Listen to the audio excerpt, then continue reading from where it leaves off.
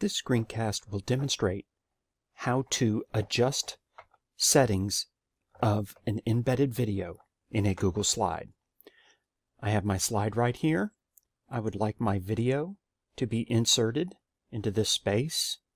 So I'm going to go Insert, Video.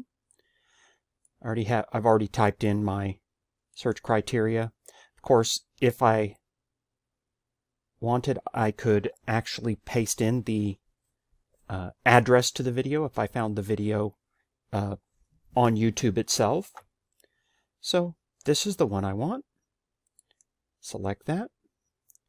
Now, notice that when it came up, it had format options pop up over here. If you don't see format options, you can right click on your video and come to format options. Okay. So right now it is showing me a preview of the video as it will be seen in the slideshow. I want to have it start a little bit later. So let's try 10 seconds in and see what that looks like. It's a little too far in for me, so I'm roll back here. So let's say I want that to be 5 seconds instead. 5 seconds for the start. I can also set the end of the video if I wanted it. If I didn't want the entire video to play, I could set that. I can set it to play when it is clicked during presentation, or I could have it play automatically, or play manually. I'm going to leave it on click. You do have the option to mute the audio if you desire. Okay, I'm going to, that's already set. There's no save button. I'm going to collapse that to show you size and rotation. So if I want this to be a particular size, I can set it by actual measurements. I can also do it by a percentage. And I can always go in the old-fashioned way and just drag the handles to resize. Um, if you want to resize and not stretch the video, you will want to click Lock Aspect Ratio.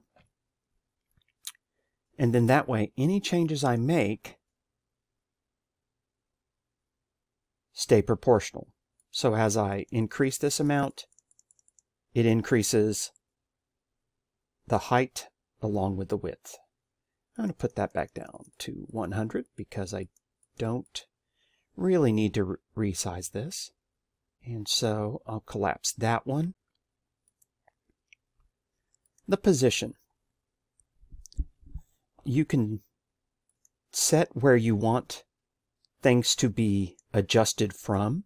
So if I say I want to adjust it from the top left, then I can do this just to kind of get it where I want it on my slide without having to um, click and drag and kind of guess where it's going to end up.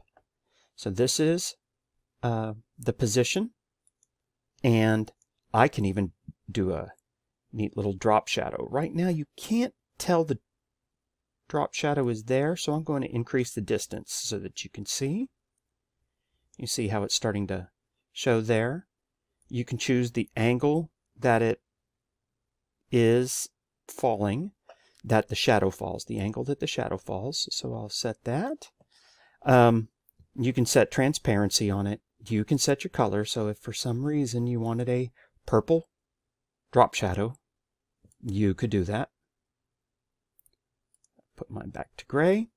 And you can also blur the radius. So you can see how it's just kind of blurring that drop shadow? And those are the settings that you can set for videos in a slide. I do want to point out that this playback time, it will only start at that preset playback time from either presentation or if I publish it to web. if I'm putting this in as a resource for either professional learning or for uh, learning with students, I could publish to the web and then embed that. And that looks like this. I'm going to click publish to web. Um, you can set how, how fast you want it to change slides. It doesn't really matter in this case because um, I only have the one slide. And then I would use the embed code and just copy that and then we can use that uh, to embed in our web page or our blend page.